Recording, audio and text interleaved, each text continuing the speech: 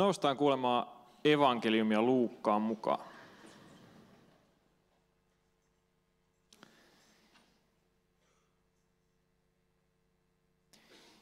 Jos teillä on palvelija kyntötöissä tai paimenessa, niin ettehän te hänen kotiin palatessaan sano, käy pöytään, saat heti ruokaa. Ei, te sanotte, laita minulle syötävää, vyötä vaatteesi ja palvele minua sen aikaa, kun syön ja juon. Sitten saat sinä syödä ja juoda. Ei palvelija siitä saa kiitosta, että hän tekee, mitä hänen tulee tehdä. Niinpä tekin, kun olette tehneet kaiken, mitä teidän tulee tehdä, sanokaa.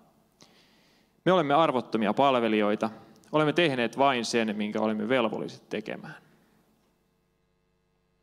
Kiitos Jeesus, että oot tässä meidän kanssa. Kiitos, että me saadaan yhdessä kuulla sua, kuulla mitä sä haluat sanoa. Nauttia siitä, että sä rakastat meitä ja oot meidän keskellä. Auta meitä kaikkea kuulemaan ja auta mua puhumaan. Amen.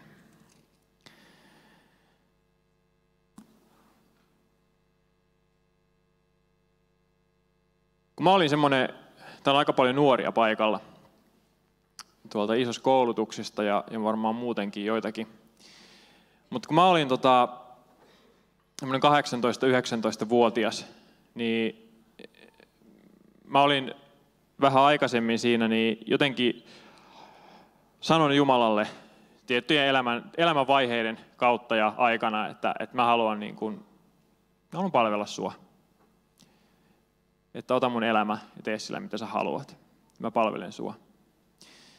Ja sitten sen 18-19 V, V-aikana, niin, niin tota, mä tein sitten sitä. Ja mä luin hyvin paljon raamattua ja rukoilin yhtä paljon ja, ja tota, tein kaikkea muutakin. Kovasti paljon kaikkea. Ja ei siinä ihan hyvä meininki se kai oli. Kovasti mä tein, tein näitä, mitä kristityn kuuluu tehdä. Ja, ja sitten noin, noin ehkä vuoden kuluttua siitä, tätä, tätä aikaa, luin paljon ja, ja kaduin paljon ja, ja kaikkia hyviä juttuja. Ja vuoden kuluttua sitten suunnilleen, niin, niin tota, mä olin sitten semmoisessa ylistystilanteessa ja ylistin sitten siinä, niin kuin muutkin, muiden mukana, niin Jumalaa ja, ja tota, lauloin. Ja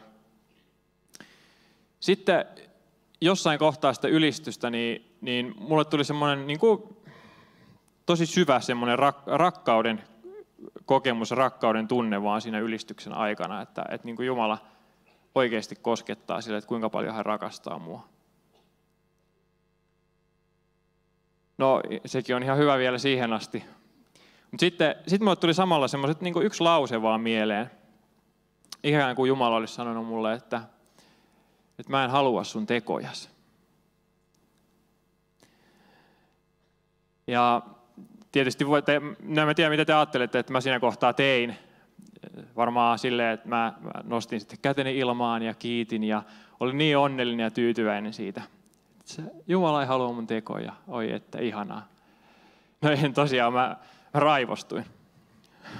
Lähdin äkkiä pois paikan päältä ja menin itekseni nurkkaan kyhjöttämään. Ja mä en siis ole ikinä ollut kellekään niin vihainen kuin silloin oli Jumalalle. En ikinä ennen sitä, enkä ikinä sen jälkeen. Mä että ei voi olla totta, että, ja pitää vielä sanoa, että mä en halua niitä. Eikö niin kuin, että, että ne, mä en tarvii niitä, niin eikö se olisi riittänyt edes? Mä haluan niitä. Ja niin. Olisi kiva sanoa, että, että mä niin kuin saman tien sitten olin, että no, että totta, eihän se mun teoista ole kiinni, mutta kyllä ne kesti vähän aikaa. Ei kelvannut silloin vielä. Ja mikä oli ongelma? Mä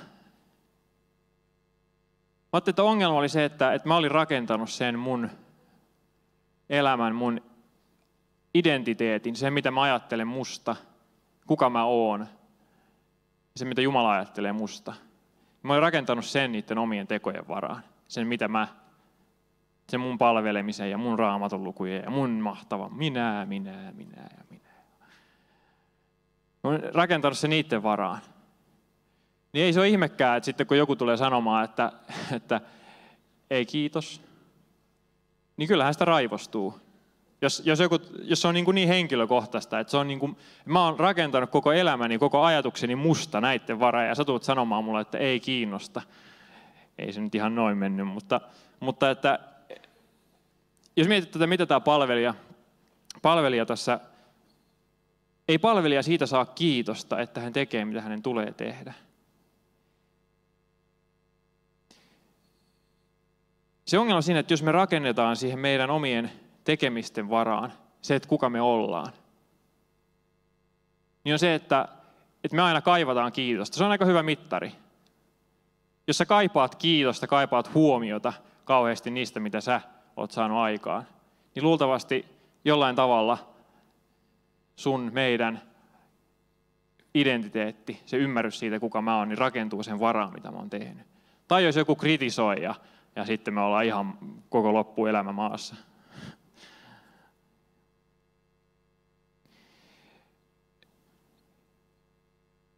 Se ei pitäisi olla niin, että, että jollakin, mikä kohdistuu siihen, mitä mä teen, niin on valtaa määrittää sen. Se tulee heti, heti tulee ongelmia. Voitaisiin vilkasta Efesolaiskirjeen toista lukua. Mä voisin kääntää sen itsekin täältä esille.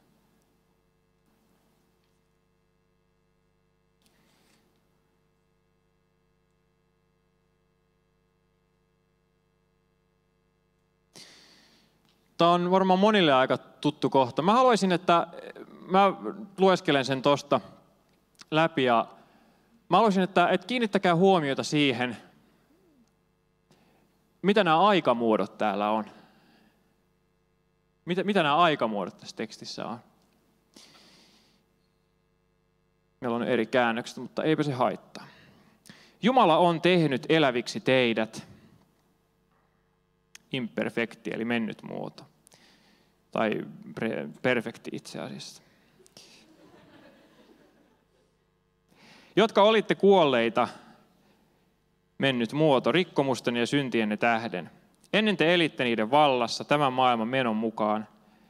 Mennyt muoto, totellen avaruuden henkivaltojen hallitsijaa, sitä henkeä, joka yhä vaikuttaa tottelemattomissa ihmisissä.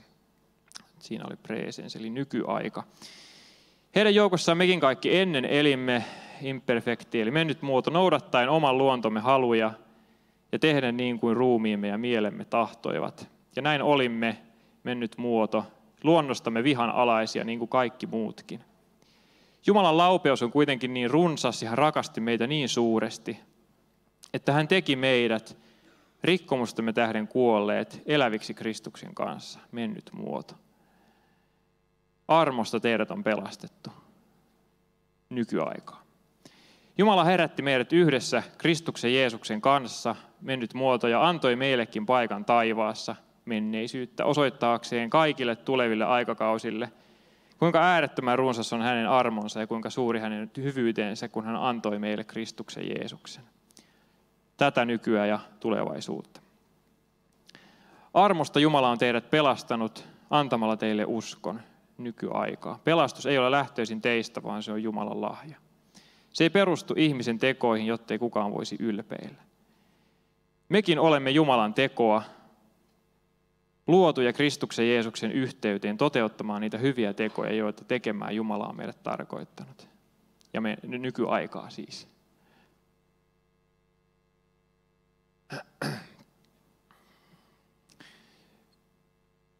Mulla on välillä itsellä semmoinen olo, että tämä ei ole ihan mennyt välttämättä aina meidän jakeluun. Että se, mitä tässä kirjoitetaan, se, mitä Jumala on tehnyt, se on kaikki menneisyyttä. Ja sen pitäisi mennä niin syvälle siihen, mitä mä ajattelen, miten mä näen itteni, miten mä näen Jumalan. Että se ei ole, että mä en vaan rakenna sen varaan, mitä mä oon tehnyt. Jos me sanotaan tähän, että no, että Jumala on tehnyt eläviksi teidät, jotka olitte kuolleita rikkomusten ja syntienne tähden, niin monelle tulee heti semmoinen, että no mutta mä eilenkin, silloinkin mä. Ja se osoittaa, että me katsotaan itseämme niiden tekojen kautta, eikä sen kautta, mitä Jeesus on tehnyt. Koska se, mitä Jeesus on tehnyt, niin se sanoo, se sanoo koko ajan, että sä oot rakastettu. Se sanoo koko ajan, että sä oot, sä oot Jumalan lapsi. Se ei aina muutu silleen, että no tilanteen mukaan vähän, että mitä, mikä sun fiilis nyt mahtaa olla. Niin, niin sitten Jumala vaihtaa nä- mielipidettä ja näkemystä. Antti kysyi multa tuossa ennen saarnaa, että onko sulla Vili hyvä saarna? tota, mä sanoin sille, että on. No, mä en tiedä, miten te sen kuulette, mutta, mutta oikeasti mä ajattelen, että mulla ei ole varaa siihen, että kun mä lähden täältä kotia ja ajan autolla kotiin, niin mä sitten autossa mietin koko matkan, että oi, että, että miten hän nyt mut otti vastaan ja niin kuin, ymmärsikö hän ja niin kuin, että toimiko tämä. Ei mulla ole varaa siihen. Tai, tai että olla ihan fiiliksissä, oi meni niin hyvin, mä oon mahtava. Koska kun mä rakennan niiden, mun tekojen varaan, niin mulla voi mennä, mulla itsellä voi mennä vaan niin hyvin kuin mitä mä nyt onnistun sinä päivänä. Sen sijaan, että, että se mun elämä olisi sitä, mitä Jumala sanoo sen olevan. Muuten se menee aina niin kuin vuoristorata. Tai että kun te menette ehkä riparille sinne, niin se voi olla niin, että, että se teidän ajatus siitä, ketä te ootte, miten te pärjäätte, niin tulee siitä, että, että sattuuko ne nyt kuuntelemaan ne riparilaiset, sattuuko ne nyt tottelemaan. Me voidaan kyllä opetella sitten niitä asioita, että no joo, tuossa olisi voinut ehkä vähän tehdä eri tavalla, mutta se ei voi olla niin, että, että, että jos joku nyt ei totellu, mitä mä sanoin, ei kuunnellut mun opetusta tai mahtavaa ajatusta, niin sitten se kaataa koko mun maailman. Älkää, niin kuin, älkää antako sen mennä niin. Te olette Jumalalle rakkaita nyt.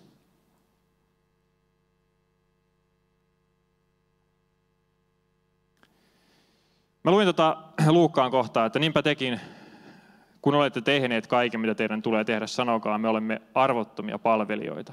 Olemme tehneet vain sen, minkä olemme velvolliset tekemään. Pidä, pidä vaan toi vielä tuolla, toi Efesolaiskirja. Mä mietin tuossa, että, että, jaa, että onko tässä nyt Jeesuksen idea sitten kertoa, että te olette arvottomia palvelijoita. Että onko se se, mitä tässä halutaan sanoa? No, ainakaan me usko, että se tarkoitus sinänsä on sanoa, että me ollaan arvottomia. Koska, no, muualla raamatussa sanotaan, että se ei ole totta. Koska Jumala maksoi meistä ison hinnan.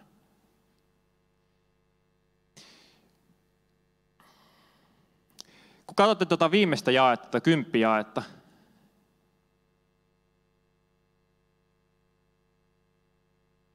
sen takia on niin tärkeää, että se menee siihen ihan syvälle siihen, mitä mä ajattelen musta, mitä, kuka mä oon. Tämä, tämä evankeliumi, tämä ilosanoma, tämä hyvä sanoma. Me olemme hänen tekonsa luodut Kristuksessa Jeesuksessa hyviä töitä varten. Siis kristinusko ei eletä, eletä sillä tavalla, että niin kuin ulkoa sisäänpäin, että me yritetään tehdä jotain, että me voi, meistä voisi tulla jotain. Eikö susta on tullut jotain. Susta on tullut jotain. Jeesuksen veren kautta. Susta on tullut jotain. Susta on tullut hänen tekonsa. Hänen oma poikansa tai tyttärensä. Ja me eletään niin kuin siitä, ketä me ollaan. Sen kautta me sitten tehdään asioita.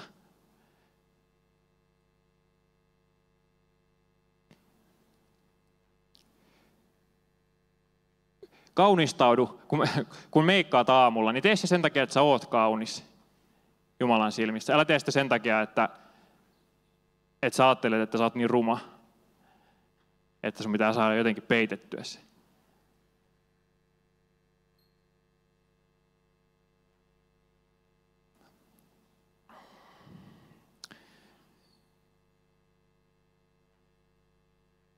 Jeesus sanoi, että, että, meistä, että meistä tulee, no se sanoi fariseuksille tällä tavalla, että, että puhdistakaa mallia, eli itsenne sisältäpäin. Muuten sitä ei saada ulkoakaan puhtaaksi. Tämä ei ole sitä. Tämä elämä ei ole sitä, että me herätään aamulla ja mietitään, että no miten mä nyt voisin pakko yrittää vähän paremmin elää tänään kuin eilen. Ei kun me herätään aamulla, me kiitetään siitä, että me saadaan olla Jumalan omia – ja siitä me eletään. Niin kuin se palvelija täällä, olemme tehneet vain sen, minkä olemme velvolliset tekemään. Me tehdään ei sen takia, että meitä kiitetään, ei sen takia, että meitä kritisoidaan. Me tehdään sen takia, että, että musta on saanut tulla lapsi. Ja totta kai mä elän niin kuin lapsi elää, niin kuin Jumalan oma elää. Hei, rukoillaan rukoillaan. Kiitos Jeesus siitä, mitä sä oot tehnyt. Kiitos, että se riittää. Ja kiitos, että, että kaikki, mikä on sitä vastaan, mitä sä sanot, mikä on totuutta vastaan, mikä on sitä ilosanomaa vastaan,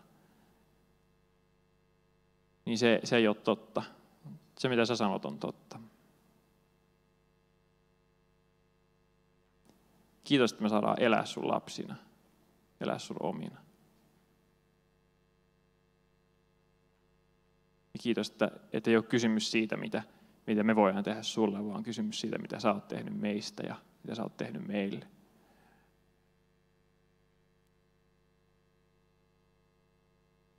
Aamen.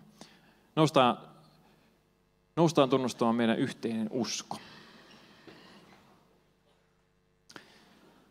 Minä uskon Jumalaan, Isään kaikkivaltiaaseen, taivaan ja maan luojaan, ja Jeesukseen Kristukseen, Jumalan ainoaan poikaan, meidän Herraamme, joka sikisi pyhästä hengestä, syntyi neitsyt Marjasta, kärsi Pontius Pilatuksen aikana, ristiin naulittiin, kuoli ja haudattiin. Astui alas tuonelaan, nousi kolmantena päivänä kuolleista, astui ylös taivaisiin, istui Jumalan, Isän kaikki valtiaan oikealla puolella, ja on sieltä tuleva tuomitsemaan eläviä ja kuolleita, ja pyhään henkeen, pyhän yhteisen seurakunnan, pyhäin yhteyden, syntien anteeksi antamisen, ruumiin ylösnousemisen ja iankaikkisen elämän. Amen.